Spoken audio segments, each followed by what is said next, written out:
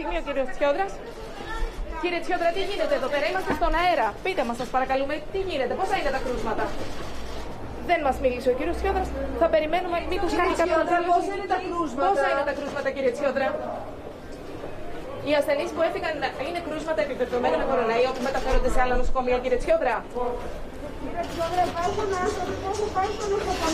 Ο κύριος Τσιόδρας έχει φτάσει στην κλινική εκεί Κύριε στο Τσιόδρα, Περιστέρι Αν θέλετε να μας πείτε δύο κουβέντες.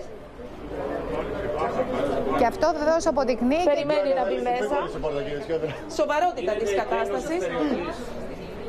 ακριβώς. Τώρα του ανοίγουν την πόρτα. Έχει έρθει να ενημερωθεί. Όπως σας είπα υπάρχει και κλιμάκιο του ΕΟΔ μέσα.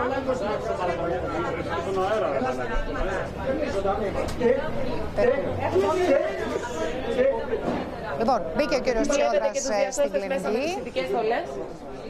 Και είμαστε εδώ και περιμένουμε την ε, ενημέρωση που ελπίζουμε ότι θα μας κάνει μόλις βγει.